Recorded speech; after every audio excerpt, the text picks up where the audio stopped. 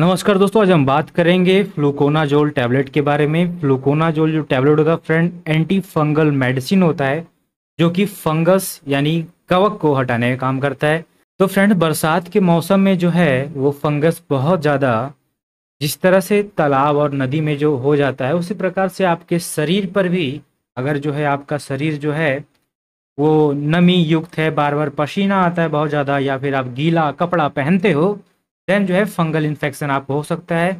खास करके आप पर्सनल हाइजीन नहीं रखते दो चार दिनों पे नहाते हो या फिर आपका जो है बहुत आलसी और नहाते ही नहीं हो और गंदे कपड़े पहनते हो या किसी और के कपड़े जूते या सॉक्स पहनते हो तब ये फंगल इन्फेक्शन हो सकता है। फंगल इन्फेक्शन जो होता है फ्रेंड्स कई प्रकार के होते हैं। जैसे कि रिंग बाम हो, हो सकता है आपके स्किन के ऊपर कुछ इस प्रकार से चकत्ते पड़ सकते हैं। साथ ही साथ जो है एक जीमा वगैरह भी हो सकता है।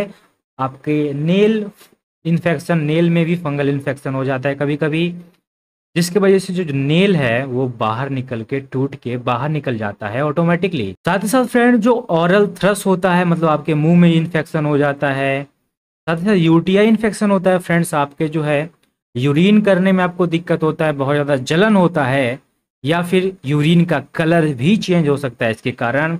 साथ ही साथ जो भरजाइनल इन्फेक्शन होता है फ्रेंड वुमेन लोगों को भरजाइना में भी इन्फेक्शन हो जाए, जिसके कारण खुजली ईचिंग और रेडनेस स्वेलिंग वगैरह वहाँ पे आ सकता है। तो फ्रेंड्स अगर हम फ्लूकोनाजोल टैबलेट की बात करें तो ये मार्केट में फ्लूका 150 के नाम से आता है। साथ ही साथ फ्लूकोनाजोल जो कॉम्बिनेशन है, वो वन कैन और ए एफ़ वन फिफ्टी के नाम से भी मार्केट में उपलब्ध है।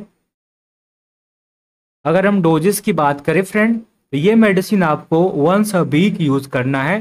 मतलब एक गोली, एक टैबलेट एक सप्ताह में आपको यूज़ करना है। ओके तो फ्रेंड्स आपके शरीर के ऊपर, आपके स्किन के ऊपर किसी भी प्रकार का इन्फेक्शन हो, चाहे वो रिंग बॉम हो एक्जिमा हो, या फिर आपके माउथ में इन्फेक्शन हो यूटीआई इन्फेक्शन हो वर्जनल इन्फेक्शन हो, ये सभी प्रकार के स्किन इन्फेक्शन को ट्रीट करने का काम करेगा। फ्लूकोनाजोल टैबलेट जो कि बहुत ही पॉपुलर मेडिसिन है फंगल इन्फेक्शन में खास करके इस मेडिसिन का यूज़ किया जाता है फ्रेंड्स।